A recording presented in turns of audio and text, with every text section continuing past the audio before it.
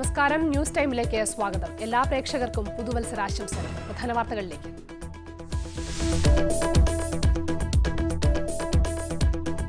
D K Mehta C D Thatte എന്നിവരുമായി മുല്ലപ്പെരിയാർ ഉന്നതാധികാര സമിതി അധ്യക്ഷൻ ചർച്ച നടത്തി. വിവാദങ്ങൾ ചർച്ച ചെയ്തെന്ന റിപ്പോർട്ട്. ഇരുവരും സുപ്രീം കോടതി ഉത്തരവ് മറികടന്നെന്ന് കേരളം നാളെ പരാതി നൽകും.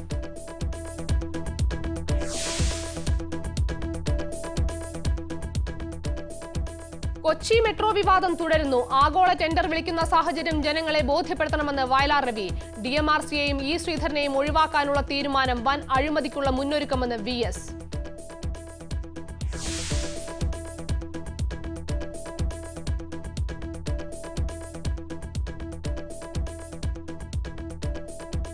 പ്രധാനമന്ത്രിക്കെതിരെ അമൃത്സറിൽ ഹസാരെ അനുകൂലികളുടെ കരിങ്കൊടി.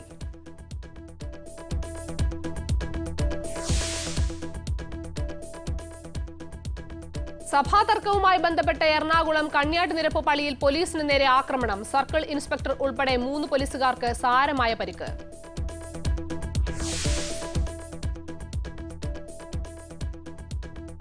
സി പി എം മുസ്ലിം ലീഗിനെ വേട്ടയാടുന്നുവെന്ന് K P A Majeed. League ക്ഷീണിക്കുന്നത് C P എമ്മിന് നല്ലതല്ലെന്ന് general secretary. C P M Thrissur Kollam ജില്ലാ സമ്മേളനങ്ങൾ നാളെ മുതൽ.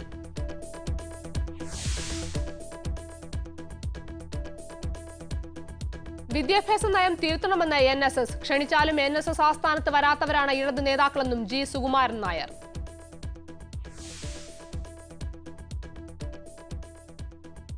വിശദമായ വാർത്തകളിലേക്ക്. മുല്ലപ്പെരിയാർ വിഷയത്തിൽ സാങ്കേതിക വിദഗ്ധരായ D K Mehta C D Thatte എന്നിവരെ ഉന്നതാധികാര സമിതി അധ്യക്ഷൻ ജസ്റ്റിസ് എം എസ് ആനന്ദ് വിളിപ്പിച്ചു. മുല്ലപ്പെരിയാർ സന്ദർശനത്തെക്കുറിച്ച് ഇരുവരും എ എസ് ആനന്ദിനോട് വിശദീകരിച്ചതായാണ് സൂചന. തട്ടയും മേത്തയും സുപ്രീംകോടതി ഉത്തരവിനെതിരെ പ്രവർത്തിച്ചുവെന്ന് കേരളം നാളെ ഉന്നതാധികാര സമിതിയെ അറിയിക്കും. സുപ്രീംകോടതി നിയോഗിച്ച ഉന്നതാധികാര സമിതി നാളെ കേരളത്തിന്റെയും തമിഴ്നാടിന്റെയും വാദം കേൾക്കാനിരിക്കെയാണ്. C D Thatte D K Mehta എന്നിവരുമായി ജസ്റ്റിസ് എ എസ് ആനന്ദ് കൂടിക്കാഴ്ച നടത്തിയത്. ഇരുവരും മുല്ലപ്പെരിയാർ ഡാം സന്ദർശിച്ചപ്പോഴുണ്ടായ വിവാദങ്ങളെക്കുറിച്ച് കൂടിക്കാഴ്ചയിൽ ചർച്ച ചെയ്തുവെന്നാണ് സൂചന. ഒപ്പം ഡാം സന്ദർശിച്ചപ്പോഴത്തെ കണ്ടെത്തലുകളെക്കുറിച്ചും ഇരുവരും എ എസ് ആനന്ദിനെ ധരിപ്പിച്ചു. ജസ്റ്റിസ് എ എസ് ആനന്ദിന്റെ വസതിയിൽ നടന്ന കൂടിക്കാഴ്ച രണ്ടര മണിക്കൂറോളം നീണ്ടുനിന്നു മുല്ലപ്പെരിയാർ ഡാം സന്ദർശിച്ചതിനു ശേഷം തയ്യാറാക്കിയ റിപ്പോർട്ട് തട്ടയും മേത്തയും നാളെ ഉന്നതാധികാര സമിതിക്ക് സമർപ്പിക്കും. അതേസമയം സുപ്രീംകോടതി ഉത്തരവിനെതിരെ തട്ടയും മേത്തയും പ്രവർത്തിച്ചുവെന്ന് കേരളം നാളെ ഉന്നതാധികാര സമിതിയെ അറിയിക്കും. ഇരുവരും അപമര്യാദയായി പെരുമാറിയെന്നും കേരളം ഉന്നതാധികാര സമിതി അറിയിക്കും. കേരളത്തിനു വേണ്ടി അഭിഭാഷകനായ രാജീവ് ധവാൻ നാളെ ഉന്നതാധികാര സമിതിക്ക് മുമ്പിൽ ഹാജരാകും. അമ്പിളി മേനോൻ ഏഷ്യനെറ്റ് ന്യൂസ് ന്യൂഡൽഹി. കൊച്ചി മെട്രോയുടെ നിർമ്മാണ പ്രവർത്തനങ്ങൾക്ക് ആഗോള ടെൻഡർ വിളിക്കാനുള്ള തീരുമാനം ഡി എം ആർ സിയെ ഒഴിവാക്കാനുള്ള നീക്കമായി മാറുന്നതായി ആക്ഷേപം. നീക്കം അഴിമതിയുടെ മുന്നൊരുക്കമാണെന്ന് പ്രതിപക്ഷ നേതാവ് വി എസ് അച്യുതാനന്ദൻ പറഞ്ഞപ്പോൾ സംസ്ഥാന സർക്കാരിന്റെ നിലപാടിനോട് കേന്ദ്രമന്ത്രിമാർക്കും വിയോജിപ്പാണുള്ളത്. ആഗോള ടെൻഡർ വിളിക്കാനുള്ള സാഹചര്യം ജനങ്ങളോട് വിശദീകരിക്കണമെന്നാണ് കേന്ദ്രമന്ത്രി വയലാർ രവി പറഞ്ഞത്. ദില്ലിയിലെ ജനങ്ങളുടെ മാത്രമല്ല ഇന്ത്യ ഗവൺമെന്റിന്റെയും ദില്ലി സർക്കാരിന്റെയും വിശ്വാസം ആവോളം നേടിയതാണ് ഇ ശ്രീധരനും ഡി എം ആർ സിയും കൊച്ചി മെട്രോയുടെ കാര്യത്തിൽ ആഗോള ടെൻഡർ വിളിക്കാനുള്ള സാഹചര്യം സംശയിക്കപ്പെടുന്നതും അതുകൊണ്ടാണ് കേരളത്തിലെ കേന്ദ്രമന്ത്രിമാരായ വയലാർ രവിയും കെ വി തോമസും ഡി എം ആർ സിക്ക് പണി നൽകണമെന്ന നിലപാടിലാണ്. വാക്കുകളിൽ അത് പ്രത്യക്ഷമായി പ്രകടിപ്പിക്കുന്നില്ലെന്ന് മാത്രം. ആഗോള ടെൻഡർ വിളിക്കാനുള്ള സാഹചര്യം വിശദീകരിക്കണമെന്നാണ് വയലാർ രവി കണ്ണൂരിൽ പറഞ്ഞത്. കൊച്ചിൻ മെട്രോയ്ക്ക് ഒരു തടസ്സമുണ്ടാകുന്ന ഒരു നടപടിയും ഒരു പ്രതിഷേധം മറ്റേതെങ്കിലും തരത്തിൽ വിമർശനം വരുന്ന നടപടികളും പരമാവധി ഗവൺമെന്റ് ഒഴിവാക്കണം എന്നാണ് എന്റെ അഭിപ്രായം. അതെന്തുകൊണ്ട് ഇങ്ങനെ ഉണ്ടായി എന്ന് ഗവൺമെന്റ് വിശദീകരിക്കുന്നത് നന്നായിരിക്കും എന്നാണ് എന്റെ അഭിപ്രായം. ഡി എം ആർ സിയെ ഒഴിവാക്കാനുള്ള നീക്കത്തെക്കുറിച്ച് കേന്ദ്രമന്ത്രി കെ വി തോമസ് കഴിഞ്ഞ ദിവസം പ്രതികരിച്ചത് ഇങ്ങനെയാണ്. എന്റെ വ്യക്തിപരമായ അഭിപ്രായം ശ്രീ ശ്രീധരനായിരിക്കണം ഇതിന്റെ ഒരു മുഖ്യമായ ഇതിന്റെ ഒരു നേതൃത്വം നൽകേണ്ടതാണ് വൻ അഴിമതിക്കുള്ള മുന്നൊരുക്കമാണ് ഡി എം ആർ സിയെ ഒഴിവാക്കാനുള്ള നീക്കമെന്നായിരുന്നു പ്രതിപക്ഷ നേതാവ് വി എസ് അച്യുതാനന്ദന്റെ പ്രതികരണം. അയ്യായിരം കോടിയുടെ നിർമ്മാണ പ്രവർത്തനങ്ങൾ അഴിമതിക്കുള്ള അവസരമാണെന്ന് കണ്ടാണ് ഡി എം ആർ സിയെയും ഇ ശ്രീധരനെയും ഒഴിവാക്കുന്നതെന്ന് വി എസ് പറഞ്ഞു. മെട്രോ പദ്ധതി അട്ടിമറിക്കുന്നതിന് തുല്യമാണ് ഇതെന്നും വി എസ് ആരോപിച്ചു. വിവിധ ബ്യൂറോകൾക്കൊപ്പം ന്യൂസ് ഡെസ്ക് ഏഷ്യനെറ്റ് ന്യൂസ്. പുത്തൻ പ്രതീക്ഷകളുമായി രണ്ടായിരത്തി പന്ത്രണ്ട്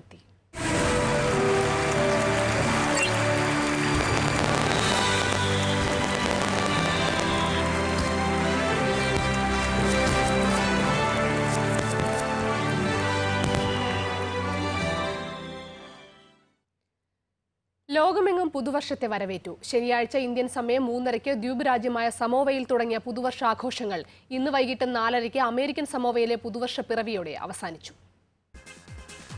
ശാന്തസമുദ്രത്തിലെ ചെറുദ്വീപായ സമോവയിൽ നിന്ന് തുടങ്ങി അമേരിക്കൻ ഐക്യനാടിന്റെ ഭാഗമായ അമേരിക്കൻ സമോവയിലാണ് പുതുവർഷാഘോഷങ്ങൾ അവസാനിച്ചത്. ആഘോഷങ്ങളുടെ പടക്കത്തിന് തീ കൊളുത്തിയത് ന്യൂസിലൻഡിലാണ്. ശനിയാഴ്ച വൈകിട്ട് ഇന്ത്യൻ സമയം നാല് മുപ്പതോടെയായിരുന്നു ന്യൂസിലൻഡിലെ പുതുവർഷപ്പിറവി ആറ് ഇരുപത്തിയഞ്ചിന് സിഡ്നിയിൽ പുതുവർഷം പിറന്നു. ബെയ്ജിങ്ങിലും ടോക്കിയോവിലും പുതുവർഷത്തെ ആഹ്ലാദപൂർവം വരവേറ്റു. രണ്ടായിരത്തി പന്ത്രണ്ടിലെ സ്വപ്നങ്ങൾ കുറിച്ചിട്ട ഹീലിയം ബലൂണുകൾ ഉയർത്തിയാണ് ജപ്പാൻകാർ പുതുവർഷത്തെ എതിരേറ്റത്.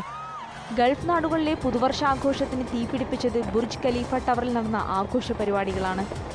സ്വേച്ഛാധിപത്യത്തിനും അഴിമതിക്കുമെതിരായ പോരാട്ടത്തിന് വേദിയായ തഹ്രീർ സ്ക്വയറിൽ ഒത്തുകൂടിയാണ് ഈജിപ്ത് ജനത പുതുവർഷം ആഘോഷിച്ചത്. മുൻപെങ്ങുമില്ലാത്ത പ്രതീക്ഷയോടെ ലിബിയൻ ജനതയും പുതുവർഷപ്പിറവി ആഘോഷിച്ചു. ജർമ്മനിയിൽ പുലർച്ചെ നാല് മുപ്പതിനാണ് പുതുവർഷം എത്തിയത് ന്യൂയോർക്ക് ടൈംസ് സ്ക്വയറിൽ നടന്ന പുതുവർഷാഘോഷങ്ങൾക്ക് പോപ്പ് താരം ലേഡി ഗാഗ ആവേശം പകർന്നു. ആകാശത്ത് വർണവിസ്മയം ഒരുക്കിയാണ് ലണ്ടൻ നഗരം പുതുവർഷത്തെ എതിരേറ്റത്. വെടിക്കെട്ടുകളും സംഗീതവും നിറഞ്ഞ അന്തരീക്ഷത്തിൽ സൗത്ത് ആഫ്രിക്കൻ ജനതയും പുതുവർഷപ്പിറവി ആഘോഷമാക്കി. റിയോ ഡി ജനീറോയിലെ ബീച്ചുകൾ കേന്ദ്രീകരിച്ചായിരുന്നു ബ്രസീലുകാരുടെ പുതുവർഷ ആഘോഷങ്ങൾ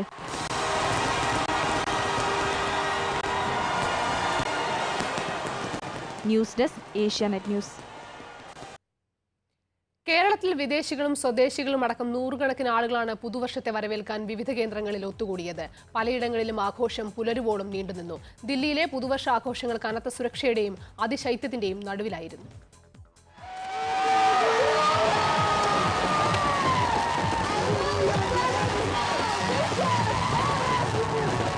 ആടിയും പാടിയും പടക്കം പൊട്ടിച്ചും ആഘോഷത്തിമിർപ്പിലായിരുന്നു നാടും നഗരവും. വിനോദസഞ്ചാര കേന്ദ്രമായ കോവളം കേന്ദ്രീകരിച്ചായിരുന്നു സംസ്ഥാനത്തെ പ്രധാന പുതുവത്സരാഘോഷങ്ങൾ. ഹോട്ടലുകളും ബീച്ചുകളുമെല്ലാം വർണപ്രഭയിൽ കുളിച്ചു നിന്നു കാതടപ്പിക്കുന്ന സംഗീതത്തോടൊപ്പം ചടുലമായ ചുവടുകൾ വച്ച് നുരഞ്ഞു പൊങ്ങിയ ലഹരിയുമായി പുതുവർഷത്തെ വരവേൽക്കാൻ ഒത്തുകൂടിയത് നിരവധി പേർ. ഫോർട്ട് കൊച്ചിയിലെ തെരുവുകളും പുതുവർഷ പുലരി ആഘോഷിക്കാനെത്തിയവർ കൈയടക്കി.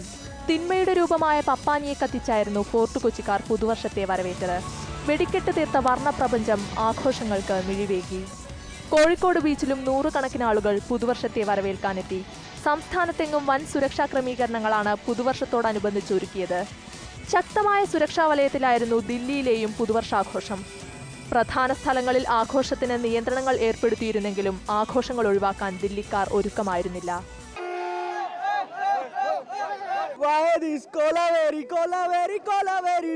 അതിശൈത്യത്തെ വകവയ്ക്കാതെ ആശംസകൾ കൈമാറിയും ആടിത്തിമിർത്തും പുതുവർഷാഘോഷം പുലരുവോളം നീണ്ടു. വിവിധ ബ്യൂറോകൾക്കൊപ്പം news desk Asianet news. Kochi കാർണിവലിനോടനുബന്ധിച്ച് fort കൊച്ചിയിൽ സമാപന റാലി നടന്നു. റാലിയിൽ കേരളത്തിന്റെ സാമൂഹ്യ സാംസ്കാരിക തനിമ വിളിച്ചോതുന്ന പ്ലോട്ടുകൾ അണിനിരന്നു. വിവിധ കലാരൂപങ്ങളിലെ പ്രദർശനവും ഉണ്ടായിരുന്നു. വിദേശികൾ ഉൾപ്പെടെ ആയിരക്കണക്കിന് പേർ പങ്കെടുത്തു. ഫോർട്ട് കൊച്ചി വെളി ഗ്രൗണ്ടിൽ നിന്ന് തുടങ്ങിയ റാലി പരേഡ് ഗ്രൗണ്ടിൽ സമാപിച്ചു.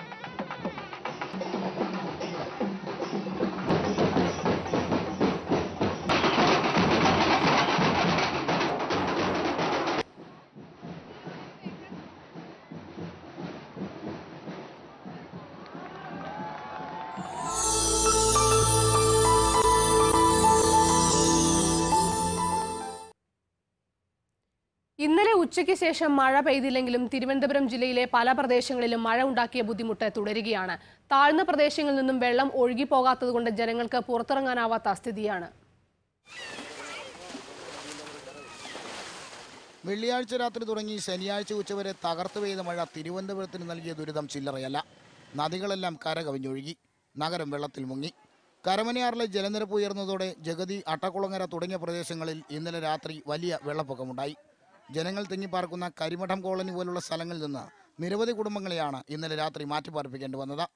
ഇന്നലെ ഉച്ചയോടെ മഴ തീർന്നിട്ടും പലയിടത്തും ആളുകൾക്ക് വീടിന് പുറത്തിറങ്ങാൻ കഴിയാത്ത സ്ഥിതിയാണ്.